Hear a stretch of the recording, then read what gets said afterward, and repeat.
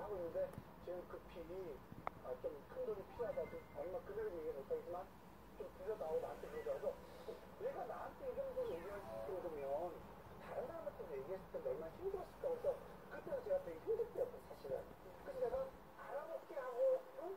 안 알아보고 못 해줬어요. 어... 그리고 이제 물론 뭐 해보면 그 부분으로 끝났겠죠. 근데 나는 그게 스트레스예요. 이게 스트레스예요. 못한 거에 대한 미안함이 너무 커가지고 사실 한 3, 4개월 정도 내가 호흡을 안 봤어요. 미안했어요. 저는 제, 저랑 안 친해요. 그러니까